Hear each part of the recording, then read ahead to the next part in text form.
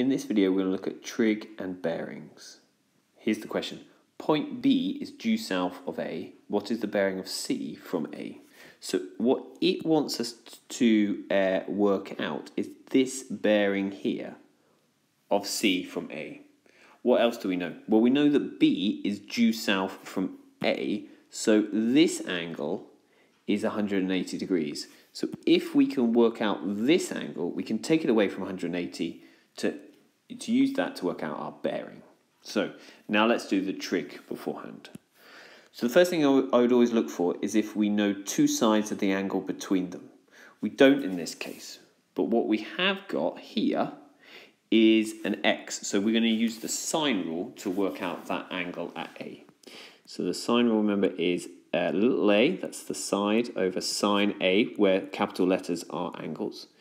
B, side B over sine of the angle B. So let's put in what we know. We don't know, uh, sorry, we do know what A is.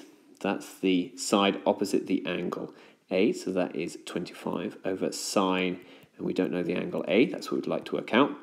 Uh, little b is uh, 20 over sine, and the angle B is 30. So we need to get sine A on its own and at the top. So the first thing I'm going to do is going to get at the top by cross multiplying. So we're going to move that up there and the sine 30 onto the other side.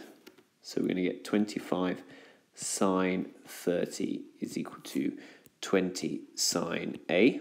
And then to get sine A on its own, I'm going to divide both sides by 20.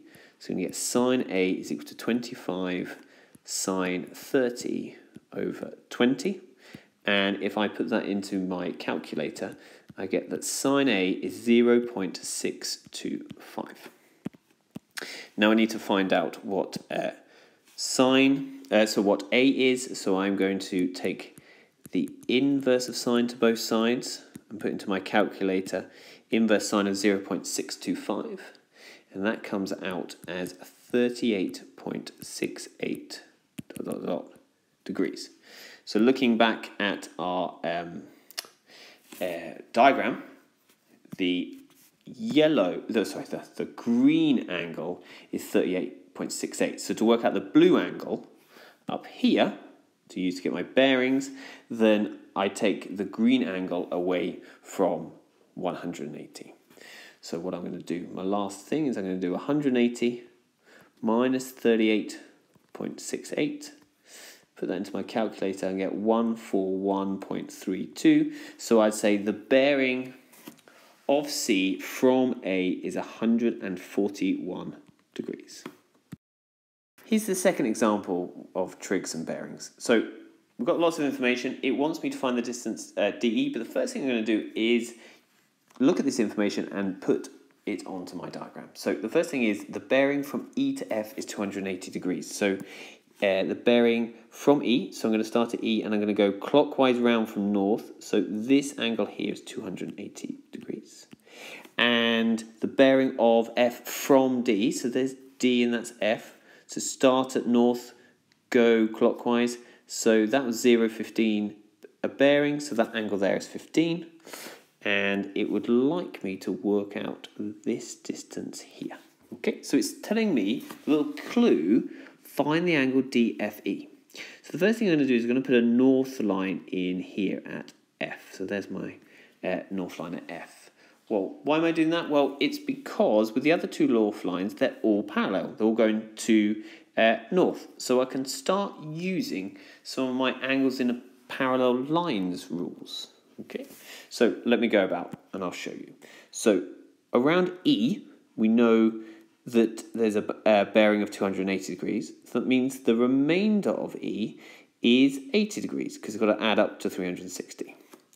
Now if I just extend this north line down a bit, down here, using the fact that I have got a Z angle being created, this part of that angle is 80 degrees. Likewise, I also now have a Z angle with the angle at D. So we know that this part here is 15 degrees. So the whole angle, DFE, is 95 degrees. So what I've done there is just draw a simplified uh, version of what we know. We've got the two sides, 10 kilometers, 30 kilometers, and we've worked out that DFE is 95, and now we need to work out what DE is. Now, first thing I always do for a non-right angled trig question is see if I know two sides and the angle between, which I do, therefore I can use the cosine rule. So in this case here, first obviously write out the cosine rule, so that's a squared is equal to b squared plus c squared minus 2bc cos a.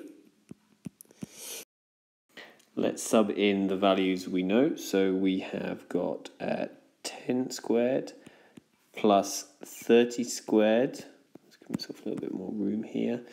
Uh, then take away 2 times 10 times 30 times uh, cos of the angle 95.